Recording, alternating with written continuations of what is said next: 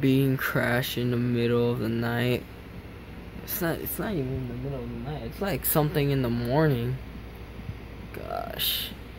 Like I had to beat I beat this game in one go and like for those of you who won't believe me, ev I'm sorry, hold up. Evidence, uh, another skip uh, um, here's some evidence. I do not have my memory card in because I left it at my house. I'm not home. I'm actually at my cousin's house.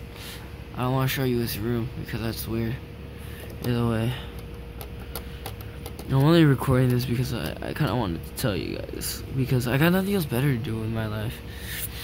I'm not even, I'm not even joking about this. Like, if I go right here, it's not even gonna save.